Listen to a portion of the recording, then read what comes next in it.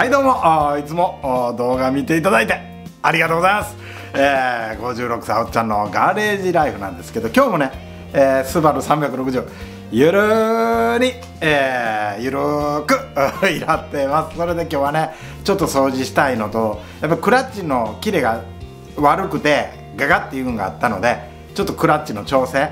それでちょっとね、えー、いじくっていこうかなと。それであとはねやっぱりねこのエンジンルーム掃除したいんです。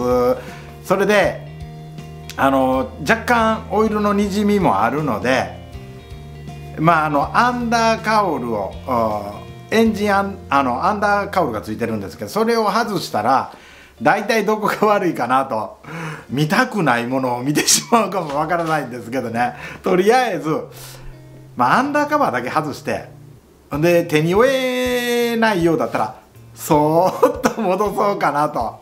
まあこんな感じで今日もね、ゆるーく、スバル360と遊んでいきますので、どうぞ動画最後までお付き合いよろしくお願いいたします。頑張りますうわっすはい、えー、それで、えー、いつものように、えー、キッチンマットつけてます。それでね、えー、中に入っていきたいと思います。よっこいしょ。ここらかな。おここらでいけるかな。はい、えー、ここ、これがね、クラッチのワイヤーの調整、えー、と思うんですけど、これね、さっき、これをね、よいしょ。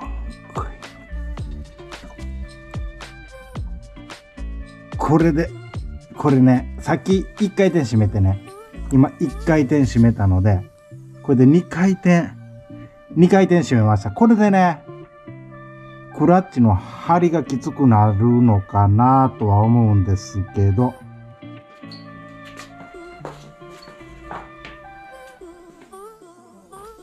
ちょっとクラッチをね、えー、踏んでみてミッション入れてみます。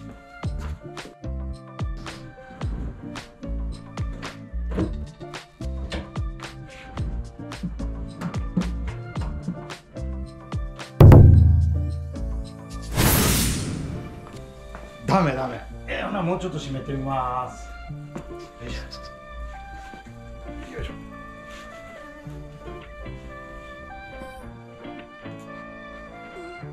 よいしょちょっと締めてみますお手チェックします。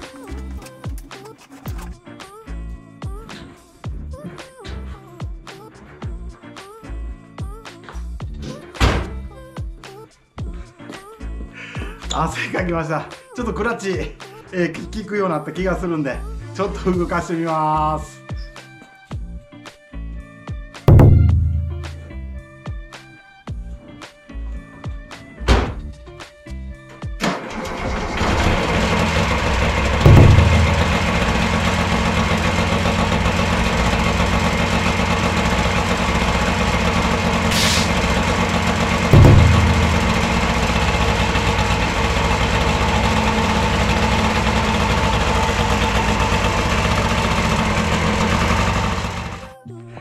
とりあえず、クラッチ治りましたあのー、前はね、思いっきり踏み込まなダメだったんですけど、結局3回転ぐらい、さっきの位置より、えー、締め込んでやったら、今がちょうど中間ぐらいでクラッチが繋がるような感じ。ガーって言わなくなりました。ちょっと休憩しまーす。うっす。はい。それでね、ちょっとね、えー、油汚れがついてもええ服に変えてきました。それで、ちょっとアンダーカウルをね、外したいと思います。よいしょ。それで、アンダーカウルは、これ見えるかな？このネジ？このネジをね、外していったらね、外れるはずなんです。とりあえずやります。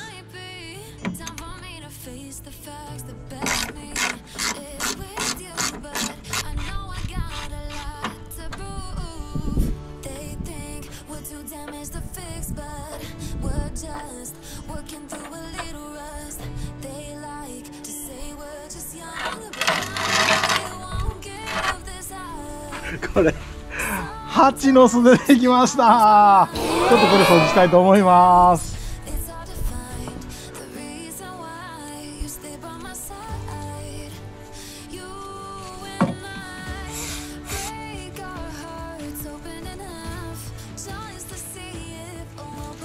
めめちゃくちゃ汚い。この油とかは。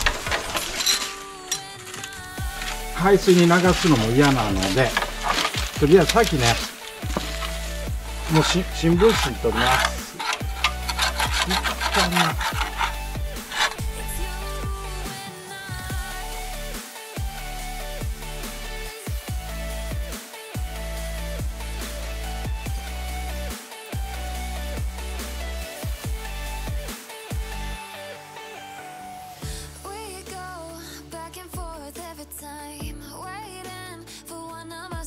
はい、えー、すごい量のダスト。あのこれ40年ぶりぐらい、えー、40年間ぐらいのあの2サイクルの排排ガスとホコリとめちゃくちゃあ溜まってました。まだ全部取れてないんですけどね。とりあえずうー休憩します。はいどうも。休憩中。このねあのゆるいえこのゆるい作業でねこのローソンコーヒー。まああの妻の入れたコーヒーとかこのローソンコーヒー。片手にねあの 何もしなくてねこうやってねただひたすらずっとまあバイクとか車とか見てねぼーっとする時間。これねめちゃくちゃ好きなんですよ。それでねこのね今日もう1時間半ぐらいずっとあれひたすらあの早送りで見てもらったんですけどあのエンジンガードこすって40年40年余りのね多分ねあれ掃除した時ないと思うんですよ。それで途中ねこのダストの上からねあのスタッカーはシャーシブラック吹いとん違うかなと。もうまあめちゃくちゃ汚くてね。まだ全然できてないんですけどね。えーもうちょっとだけねあの掃除して今日はもう色まで行きたかったんですけどもうとても出ないけどね あの油汚れは手強いんでね、えーまあもうちょっともうちょっと頑張ってね、えー今日はまあこれぐらいにしようかなと思ってます。とりあえずね一服してからあもう一回頑張ります。おっす。